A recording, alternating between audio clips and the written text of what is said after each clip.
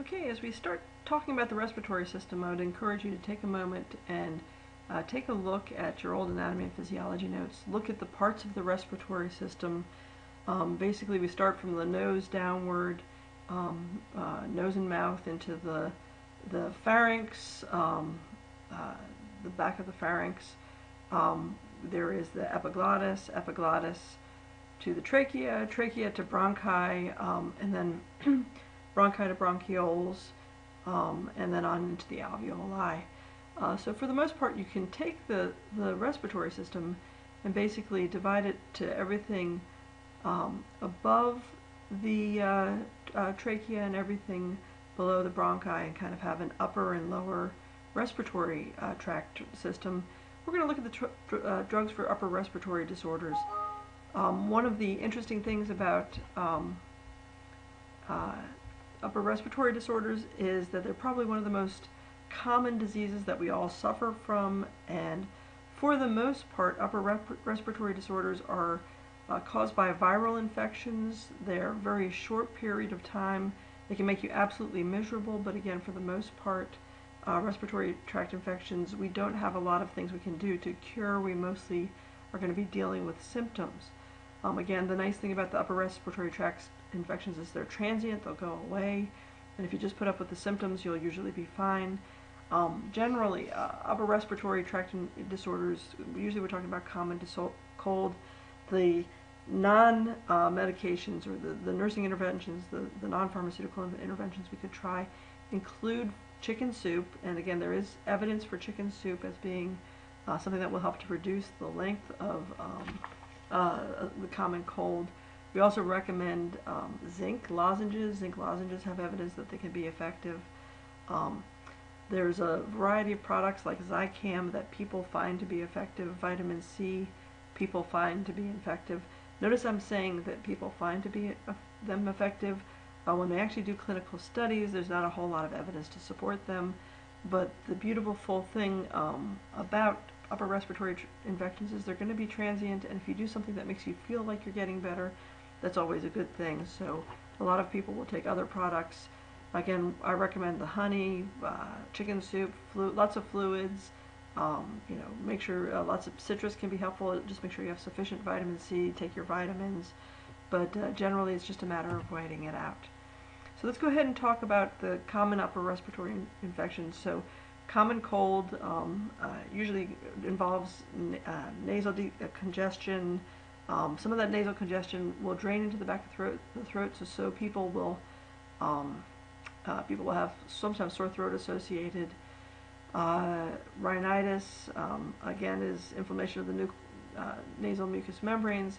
Sinusitis, um, again, from your anatomy class, you saw the, the small passages of the sinuses. Uh, sinus and when they get inflamed can be very, very uncomfortable, cause severe headaches as well. Acute pharyngitis is inflammation of the throat. Um, again, 70% of the time, upper respiratory infections like these are caused by viruses, and the antivirals that we have really don't treat these. And so what we're going to do for the most part with these conditions is we're mostly going to just treat the symptoms. Um, again, these are usually uh, uh, contagious for a short period of time. They're usually contagious before the onset of symptoms, but it's important uh, to talk about hygiene with your patients. Um, again, uh, you know, make sure that when they use tissues that they put them away where they won't be contaminating other other people. For your purposes, recognize that your upper respiratory tract infection, which is just is just uncomfortable and isn't going to really cause a problem. Some of your patients who have decreased immune system can cause a pretty severe disease, so you've learned to cough into your elbow um, or sneeze into your elbow if possible. You know to wash your hands frequently. If you have a cold, make sure you do everything that you can to prevent transmission to others. Again, transmission can be done, can occur from touching contaminated surfaces. Um, and again, um, you know, the, the, big things that we think about are the secretions associated with a cold, uh, the, you want to make sure that you control the secretions, you don't share them with, with others. So let's start off with the drugs that we use to treat the symptoms, and the first one is the antihistamines, and these are histamine type 1 receptor blockers. Uh, we, I'm going to divide them into first generation and second generation, and there's more first generations than just good old-fashioned Benadryl, which is diphenhydramine.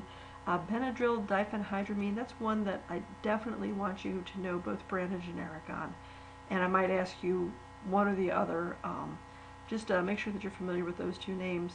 Um, that's probably true with the second generations as well. Make sure that you're comfortable with the, the brand and generic name because I'll use the, the different names interchangeably. Um, one of the other things with the antihistamines, uh, it's important to know the generic name. Um, for your purposes, uh, the antihistamines are incredibly effective for a whole host of diseases. Uh, we're going to talk about them right now for upper respiratory infections, but uh, it's the middle of the summer right now. A bunch of you are going to get poison ivy or, or bee stings or other rashes, and these very same drugs that, that help us with our upper respiratory infections can really help with the itching of those those rashes. Um, so uh, you you yourself might be going out to get these products. Uh, I always mention to folks that the generic versions of these drugs are all available, and the generic versions work as well as the brand name, um, and so you can save yourself a significant amount of money by going for generic on these um, on these antihistamines. So again, the first generations are is Benadryl, the second generation Zyrtec, Claritin, and Allegra, and these are called the non-sedating antihistamines. Um, they have less sed sedating effect. The, the difference between the two is the Benadryl is more hydrophobic or lipophilic and can actually make it into uh, the brain and have sedating effects, uh, act on the H1 receptors in the brain. The second generation antihistamines are more hydrophobic, I'm sorry, hydrophilic, and so they don't tend to pass into past the blood-brain barrier and have less sedating effects. It's worth noting that there are paradoxical effects with both of these classes of drugs. So there are some people who, when they take Benadryl, actually get wired up on it. And there are some folks, in spite of the fact that I'm telling you that they're non-sedating, there are some uh, folks who, who experience sedation with the various second generation antihistamines. When I look at the different second generation antihistamines, what I'll tell you is that they, they all of them will work. Uh, some people have better experiences with one or the other. Uh, if you've tried one second generation antihistamine and it doesn't work for you, I actually encourage you to try the others. P people find that they find one that works the best for them and then they'll usually stick with that antihistamine. So again, uh, diphenhydramine is the first generation. The key thing that you'll want to know is uh, that it is a sedating or has some sedating effects. Um, we use it uh, as to, to, to treat um, acute and allergic rhinitis. Because it's a histamine blocker, it reduces secretions, so that can help with coughing. Um, you have to be careful with it uh, in folks because it has uh, it's a it has cholinergic or anticholinergic effects. Um, you have to be careful with it in people who have uh, liver disease, narrow angle glaucoma, and urinary retention. Um, again, you can be taking oral IM or IV. Uh, again, that drying of secretions uh, urinary retention, constipation, um, uh, those are side effects, but potential side effects. Uh, again, uh, when you're working with people uh, giving Benadryl, make sure you focus on the nursing interventions. Uh, if you're taking something that's sedating and then you also add alcohol to it, it can increase the effects of alcohol. And then just giving them lots of water or candy or gum to reduce dry mouth, dry mouth can be helpful. Um, so again, the second generations reduce sedation, have fewer anticholinergic effects. Um, they can be taken with alcohol. This is one of those, uh, whenever I'm at a, a, a, summertime party, people are always asking me, well, I just took a, a, a uh, Zyrtec, can I, can I have a drink? And the answer is, well, I shouldn't recommend it because I'm the pharmacist, but it probably won't have a, a, negative effect. Um, so, uh, the next thing we're going to talk about is nasal congestion, which is one of the classic symptoms of upper respiratory infections. And then we'll talk about nasal decongestants. What they do is they hit alpha uh, alpha adrenergic receptors. Um, they that means that they cause vasoconstriction. They shrink nasal mucous membranes, and they also can help to reduce uh, the secretions. Um, here's a, again a list of nasal decongestants. Afrin is a, a spray. Um, the Allerest uh, or Sudafed are, are common nasal decongestants. Um, again, they come in a variety of forms. Um, one of the interactions that's really key to note is the Sudafed, it can decrease the effect of beta blockers, it can decrease the effect uh, of other hypertension medicines. So we do we don't give Sudafed to patients with hypertension. Um, and again, it can also cause restlessness, uh, heart palpitations, or tachycardia, um, and it can should be avoided. Caffeine should be avoided with it. Afrin, um, Allerest, uh, Sudafed um, are other um, nasal decongestants. Um, again, same kind of side effects. Uh, really important to talk about. These are nasal decongestant, or talk about Afrin as a nasal decongestant spray. Um, one of the things that we find is that with Afrin, uh, it can help your symptoms for up to five days, but after five days, people who take Afrin will find that when they don't take it, they actually experience what we call re rebound decongestion. Um, so at, we recommend Afrin for less than five days. It's a key uh, consultation point. Afrin should, or nasal sprays, nasal decongestants should only be taken for five days or less because of the risk of rebound uh, congestion.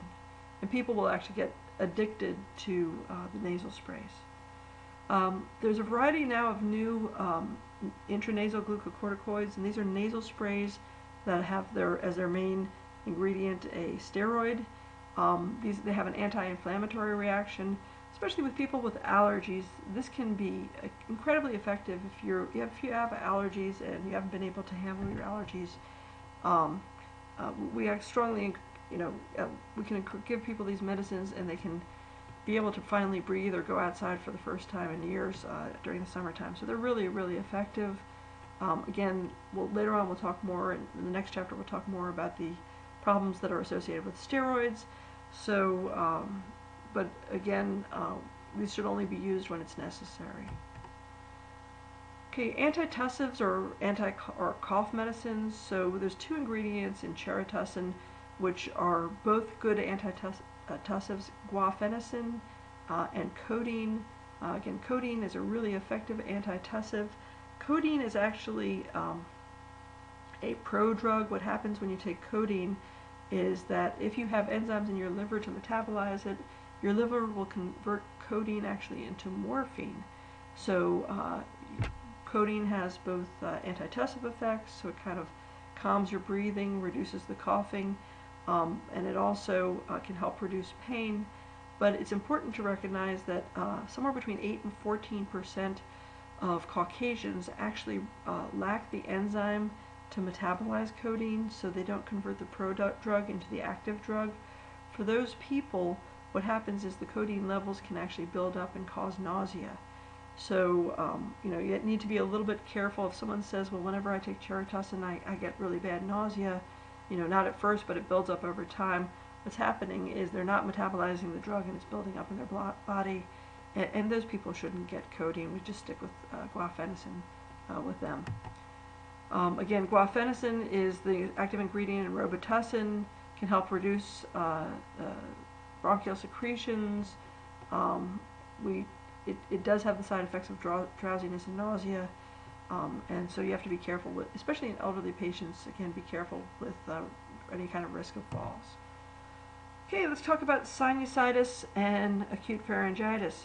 So sinusitis um, is a, a problem, uh, and you'll hear about people who say they have sinus infections and they just couldn't get rid of them in spite of getting antibiotics because uh, the sinuses, uh, you've seen them, the, the sinuses in the uh, skull when you had a chance to do your brain dissections uh, or skull dissections back in anatomy and physiology, uh, the sinuses are just really tight pockets that when they get inflamed, the exits and entrances um, become blocked and it becomes very difficult to get drugs in to actually treat the infections. So we often treat with decongestants, Tylenol, fluids, rest, and antibiotics. Um, lately I've seen added to this, um, uh, we'll also see um, doctors add steroids to the treatment because by adding steroids, because what happens is we give people antibiotics, the antibiotics can't make their way into the passageways, they aren't very effective, so adding steroids can help to make the, allow the antibiotics to make their way into the, the sinuses if you have an acute or if you have a, a chronic sinus infection. Pharyngitis is a sore throat. Um, again, salt lozenges, um, sorry, salt uh, gargles are, are, highly recommended. No one does them. Um, uh, increased fluid intake is recommended uh, Tylenol, um, um, antibiotics uh, are recommended with bacterial infections. but it's really key to recognize that most sore throats are not bacterial. On the other hand, the most severe of the bacterial infections is uh, a, a streptococcal infection, strep, uh, of the, the throat, and those people do need to be treated with antibiotics. Sort of the classic way to, to separate strep throat from other sore throat infections strep, strep throat almost always has a fever and has less nasal congestion symptoms. If a cold or a, a sore throat starts with nasal congestion, you're probably better off treating with antihistamines and decongestants uh, rather than treating with antibiotics uh, in order to get rid of the sore throat infections. Um, uh, again, one thing I would just want to add for uh, acute pharyngitis um, is that the recommended uh, drug for that is actually going to be, if they take an antibiotic, is going to be amoxicillin. That's usually our first drug, our first drug for patients who have uh, sore throats or bacterial sore upper respiratory infections. Thank you.